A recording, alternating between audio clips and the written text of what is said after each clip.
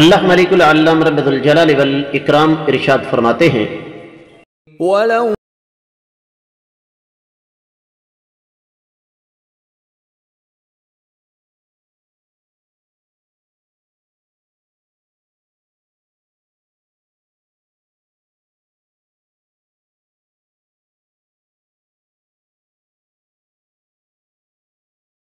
चाहता तो ज़मीन में जितने भी इंसान हैं, मुकम्मल तौर पर सारे के सारे ईमान ले आते।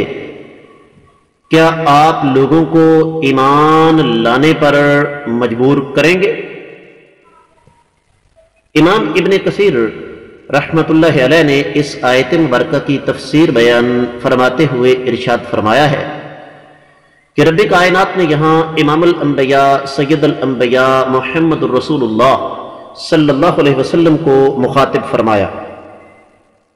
और मुखातिब करके फरमाया कि, ए मेरे नबी सल्लल्लाहु अलैहि वसल्लम रब कायनात, अगर चाहते तो ज़बरदस्ती लोगों को ईमान लाने पर मजबूर कर सकते थे।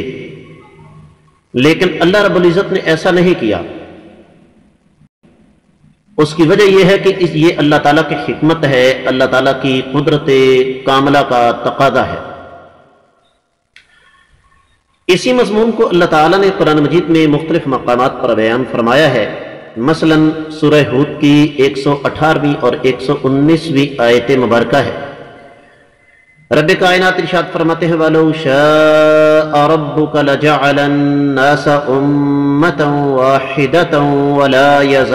मुख्तलिफीन रहिम रब्बुक। वलिदालिक खलक़हुम वतम्मत कलिमतु रब्बिक लअम्लअन्न जहन्नम मिनल जिन्नति अगर आपका रब चाहता तो तमाम लोगों को एक उम्मत बना देता। लेकिन ये आपस में इख्तलाफात का शिकार रहेंगे, माँ सवय उन लोगों के जिन पर आपके रब का फजल करम और अल्लाह ताला की रहमत हुई। अल्लाह ताला ने इसी तरीके से इसी मकसद के लिए इनको पैदा फरमाया है और आपके रब का फैसला जो है वो मुकम्मल होकर रहेगा कि मैं जहन्नम को इंसानों और जिन्नों से भरूँगा। फिर सूरत रात की इकतीसवीं आयत मुबारक इबन कसीर रहमत लेकर आए। अल्फाज ये हैं, अफलम यही असलदीना आमनु अल्लाहन्नास जमीआ। क्या बस लोग ईमान वाले मायूस हो चुके हैं कि अगर अल्लाह ताला चाहते तो तमाम के तमाम लोगों को अल्लाह ताला हिदायत नसीब फरमा देते। यही वजह है कि अल्लाह ताला ने नबी सलाम को मुखातिब करके फरमाया आफा अंता तुक्रनास क्या आप लोगों को मजबूर करेंगे? और हत्ता यकून मुमिन असल में रब कायनात ने यहाँ बैन सतूर नबी सलाम को यह बात समझाने की कोशिश की है कि यह आपकी ज़िम्मेदारी नहीं है। जिस तरह के सुर फातर की आठवीं आयत मुबरक इबन कसीर रहमत लेकर आए, अल्लाह फरमाते हैं योदिल्लुमई यशा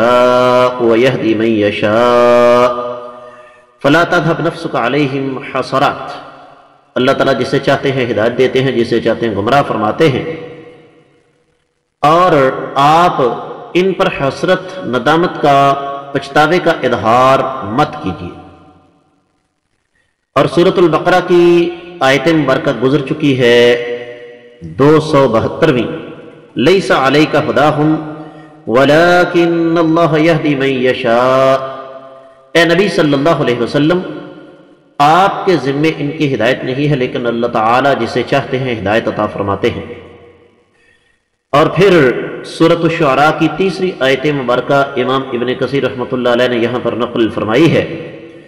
अलैहि शायद आप अपने आप को हलाकत में डाल लें कि ये लोग ईमान क्यों नहीं ला रहे फिर सूरतुल कसस की छप्पनवीं आयत मुबारक का टुकड़ा लेकर आए इबन कसीर रहमत इन कला तहदीमन अहबबता ए नबी सल्लल्लाहु अलैहि वसल्लम जिसको आप चाहें उसे हिदायत नहीं मिल सकती सूरत की चालीसवीं आयत मुबरक है ए नबी सल्लल्लाहु अलैहि वसल्लम, आपकी ज़िम्मेदारी यह है कि आप बात को पहुँचा दें। जबकि हमारी ज़िम्मेदारी यह है कि हम इनका हिसाब किताब करेंगे। फिर सूरतुल गाशिया की इक्कीसवीं और बाईसवीं आयत मुबारक में अल्लाह रबुल्ज़त ने इर्शाद फरमाया फ़दक्र इनमुदक्र लस्ता अलहिम बेमुसैतर। आप नसीहत फरमाएँ, ये ज़िम्मेदारी सिर्फ़ आपकी नसीहत फरमाने की हद तक है। आप इन पर निगरान नहीं हैं। इबन कसीर रहमत फरमाते हैं कि इसके अलावा और बेशुमार बहुत सारी आयात मुबारकत हैं। जो इस बात पर दलालत करती हैं कि रब कायनात जो चाहते हैं करते हैं, जिसको चाहते हैं हिदायत देते हैं, जिसको चाहते हैं गुमराह करते हैं, ये अल्लाह ताला का इल्म है, अल्लाह ताला की हिकमत है और अल्लाह ताला का अदल है।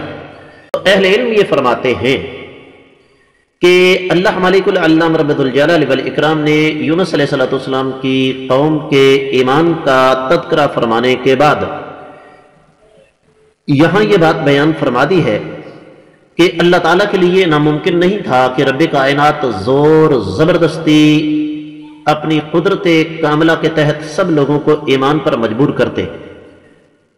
लेकिन रब कायनात ने इंसान को पैदा करने के बाद आज़ादी के साथ अकल, फहम, इदराक और शौर जैसी निमतों को बरुए कार लाते हुए इस बात का मौका नसीब फरमाया। कि तुम्हारे सामने दो रास्ते हैं, फमन शाह फल युमिन वमन शाह फल यकफुर जिसका जी चाहे ईमान के रास्ते पर चले, जिसका जी चाहे कुफर के रास्ते पर चले। ये जो हमारे यहाँ एक सिलसिला है ना, हर चीज़ को तकदीर के खाते में डालकर खुद बरियो जिम्मा हो जाना, शरीयत इसकी नफी करती है। और उसका ज़िंदा सबूत यह है कि आप लोग इस वक्त मेरी आवाज़ सुन रहे हैं। अल्लाह के कुरान की तफसीर आप समात फरमा रहे हैं। और इसी वक्त बेशुमार लोग ऐसे हैं, जो कि इंतहाई गलत कामों के अंदर मशगूल हैं। उन कामों का तस्करा भी यहाँ बायस कराहत होगा। सवाल यह है कि आपको किसने ज़बरदस्ती अल्लाह के कुरान का सबक पढ़ने पर मजबूर किया? और उनको किसने ज़बरदस्ती गलत काम पर मजबूर किया? यकीनी तौर पर किसी ने भी नहीं। तो इसलिए यह कहना कि जनाब, हमारा तो मुकद्दर ही ऐसा है यह बात गलत है।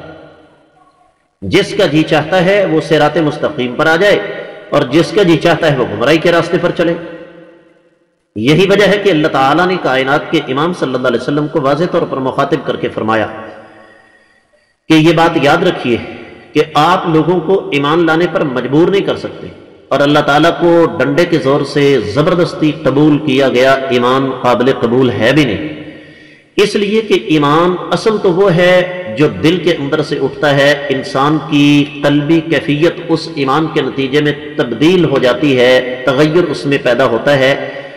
और इंसान अपनी मर्दी, अपनी मंशा के साथ रब कायनात के बताए हुए इस पुरखार रास्ते को कबूल करता है, क्योंकि नबी सलाम का फरमान है दुनिया सिजनमिन व जन्नतुल काफिर दुनिया मोमिन के लिए कैद खाना और काफिर के लिए जन्नत है।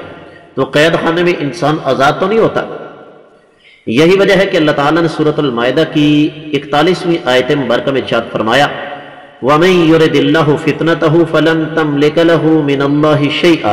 अल्लाह ताला जिसे आजमाना चाहे, आप उसमें से किसी चीज़ के मालिक में नहीं है। तो इसका मतलब ये कतई तौर पर नहीं है कि अल्लाह ताला लोगों को गुमराह करना चाहते हैं। याद रखिए रब कायनात के इरादे दो किस्म के हैं। एक है इरादा कौनिया, एक है इरादा मकनिया इरादा कौनिया यह है कि अल्लाह ताला एक चीज़ का फैसला कर चुके हैं, जिसमें मेरी और आपकी ज़िंदगी और मौत शामिल है।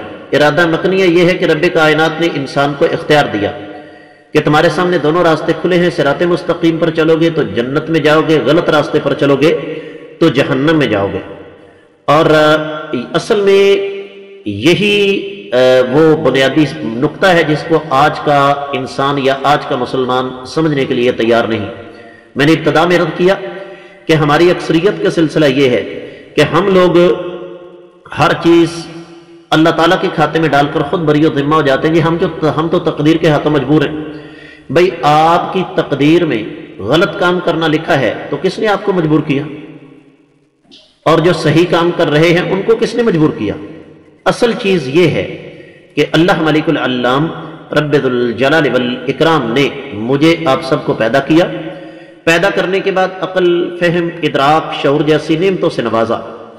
और ये नियमत अता करने के बाद रब कायनात ने हमें इख्तियार दे दिया। हम जिस रास्ते को चाहे इख्तियार कर सकते हैं। अगर इंसान ये कहे कि मैं तकदीर के हाथों मजबूर हूँ तो यह बात गलत, बेबुनियाद, बेअसास है। इसलिए कि यह रब कायनात की कुदरत है। मैं और आप अपनी आँखों से देखते हैं हमारे दाई माई अनगिनत ला तादाद बेशुमार बहुत सारे ऐसे लोग हैं जिनका फैमिली बैकग्राउंड, जिनका ख़ानदानी पस मंदर, ऐसा है कि इंसान उसका तस्करा भी ना कर सके। लेकिन अल्लाह ताला ने अपनी कुदरत कामला के तहत उन लोगों को ये तोफ़ी अता फरमाई। उन्होंने अकल फहम इदराक शौर को इस्तेमाल किया सरत मुस्तकीम पर आ गए। उनको किसी ने मजबूर नहीं किया। और बहुत सारे ऐसे लोग हैं जो बड़े बड़े दीनी घरानों से ताल्लुक़ रखते हैं। लेकिन शैतान ने उनकी ऐसी मत मारी है, उन्होंने अल्लाह ताला की इन नेमतों को सही इस्तेमाल नहीं किया, वो गुमराह हो गए। तो इंसान गुमराह होता है खुद अपनी बदनीति की वजह से। रहा यह मसला कि जी हम तो अल्लाह ताला के खाते में हर चीज़ डालकर बरियो दिम्मा हो सकते हैं यह बात गलत, बेअसास, बेबुनियाद है। हाँ एक मुसलमान होने के नाते, एक मोमिन होने के नाते हमारा यह फ़र्ज़ है कि हर नेकी की नस्बत अल्लाह ताला की तरफ़ करें। यह हमारे ईमान का तकादा है। वरना मुझे यह बताइए कि जो लोग सरात मुस्तकीम पर चल रहे हैं, कौन उनको डंडे के ज़ोर से हाँकर लाया? कोई भी नहीं। हमारी तारीख, बल्कि मौजूदा दौर में ऐसे ऐसे उलमा अल्हम्दुलिल्लाह, अभी तक ज़िंदा हैं, जिन्होंने दीन सीखने के लिए, दीन समझने के लिए वालदेन का तशद बर्दाश्त किया, बरदरी की मुखालफतें बर्दाश्त की, उनको घर बदर कर दिया गया।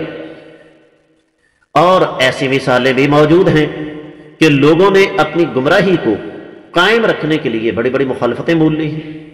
तो इसलिए ये आयत मुबरक हमें यह सबक देती है कि हमें सरात मुस्तकीम की जस्तजू में रहना चाहिए। और सरात मुस्तकीम पर चलने की कोशिश करनी चाहिए। अल्लाह का वादा है वल्ला वल्लदीना जहदूफ़ीन सुबलना जो लोग हमारे रास्ते की तरफ़ आना चाहते हैं, हम ज़रूर ज़रूर उनको हिदायत अता फरमाते हैं।